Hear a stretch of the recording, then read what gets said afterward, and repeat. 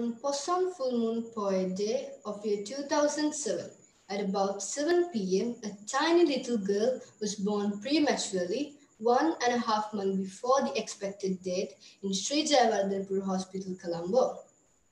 One of her uncle, a famous writer, Mr. Ratnasri Vijayasinghe, has given the name of her as Buhuthi Dilanga, which means skillful personality. Honorable Toastmaster and my dear Gavaliers, when 2013 began, Nugegoda Anula Vidyalaya's primary section started an orientation program called Sellam for grade 1 students. On the first day, the teacher divided the class into five groups with eight students each and started an activity called collecting flags.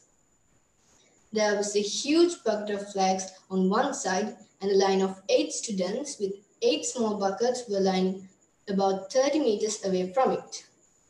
Each student should run to the huge flag bucket and bring one flag at a time to their small buckets. The student who brings the most number of flags to her bucket will win. The competition started with one team. After a while, the teacher noticed that one child's bucket had three times more flags than the other children's buckets. So she went to her and asked if she had brought more than one flag at a time. But she said no. But the teacher decided to start the game again while observing carefully. She noticed that some of them kept running slowly, looking around, dropping their flags to relevant buckets. Among them, one girl went straight to the flag bucket, took one flag, and ran to her bucket very fast without even looking at others or stopping. The teacher was impressed very much and spoke to her mother to find out the preschool she went. That was the Brisbane International School. She went to Brisbane with her one and only brother, Amod Gunawardene, who was one year older than her. Buhuthi is very much courageous, obedient, and a popular character among classmates and teachers as well as parents. An exciting thing happened during a sport meet in Anula College when she was in grade 4. The challenge was to complete the 50 meters freestyle event in order to claim an additional point for her house.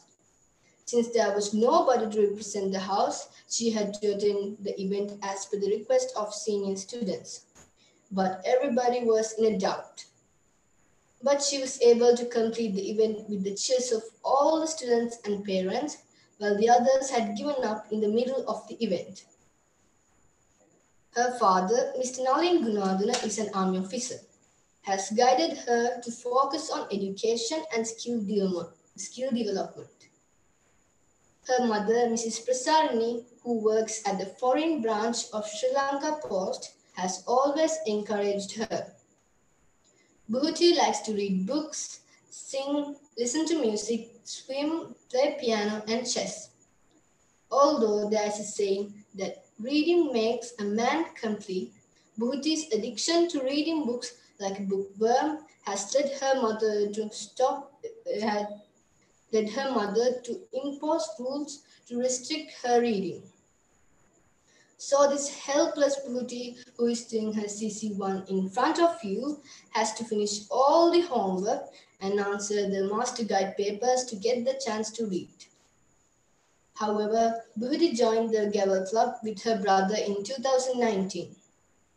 Dear friends, joining to Gavel Club is the turning point of me. I believe that I could improve my public speaking skills and leadership abilities in this friendly and encouraging environment. Over to you, dear Toastmaster. Thanks for watching.